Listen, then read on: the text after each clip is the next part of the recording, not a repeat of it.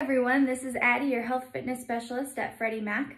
Today I'm bringing to you a workout that is three to four rounds of 20 of several movements using a duffel bag. So the duffel bag uh, you're going to fill with weight. Now you can do this by adding books, get creative.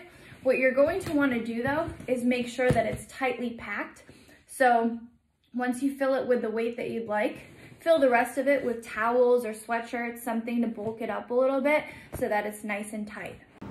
First, we will perform 20 repetitions of duffel bag sumo deadlifts. So we wanna make sure our feet are wide.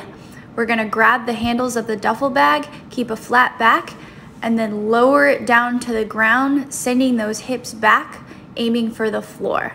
Make sure you keep your eyes at the horizon and you keep the elbows straight.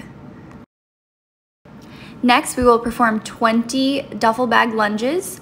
So we're gonna have that duffel bag sit in the crease of the elbow holding underneath it so it's high on the chest.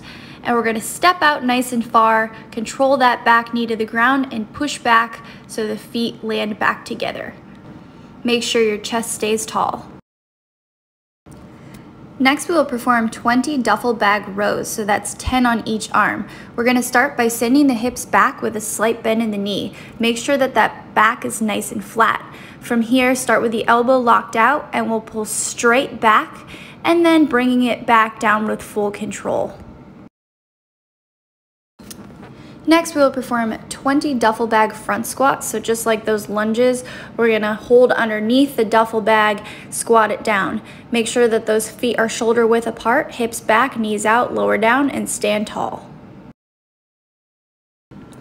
Last but not least, we'll perform 20 burpees over the duffel bag. So you're gonna put your hands down, jump or step back, jump or step forward, and then jump over that duffel bag. Feel free to step if you need to.